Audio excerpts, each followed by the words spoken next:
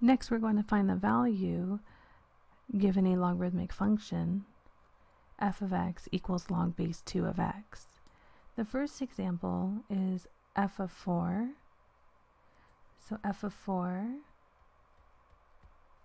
means we replace every x in f with 4. So f of x is log base 2 of x, so this would be log base 2 of 4. And remember what logs are. Logs are just exponents, and so we will are asking ourselves 2 to what power is equal to 4. Again, the base to what power is equal to the value 4. And we can see that 2 to the second power is equal to 4. So this means log base 2 of 4 has to be 2 only because 2 to the second power is 4. So this means f of 4 is equal to 2 or also known as an ordered pair. If we wanted to graph this log, we know that the ordered pair on this graph would be 4, 2, where 4 is the x value and 2 is the y value.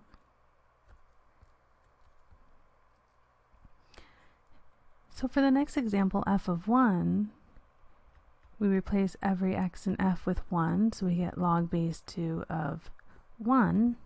And again, we ask ourselves, we look at the base, 2. So 2 to what power would give us the value of the log, which is 1.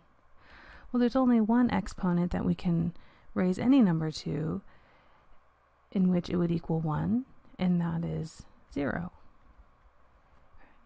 2 to the 0 is equal to 1. Since the exponent is 1, this means log base 2 of 1 is 0 because 2 to the 0 power is 1.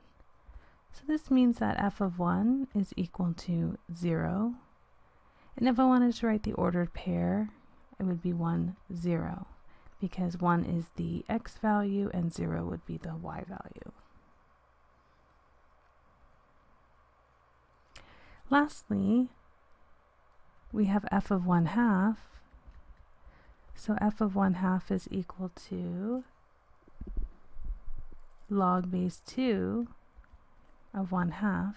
Now this one isn't so obvious, but again, just problems change, methods don't. So I still want to ask the same question as before, as the base 2 to what power would give me the value of the log, which is 1 half.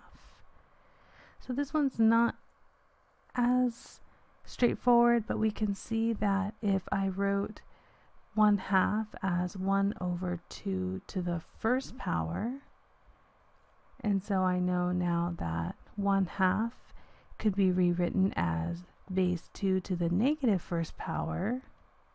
And we can see now that 2 to the negative 1 power would give us 2 to the negative 1, meaning 2 to the negative 1 power gives us 1 half.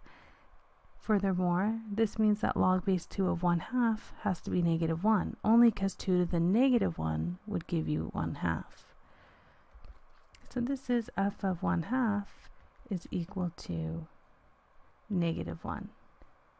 And again, the answer is negative 1 because 2 to the negative first power gives us 1 over 2 to the first, which is 1 half.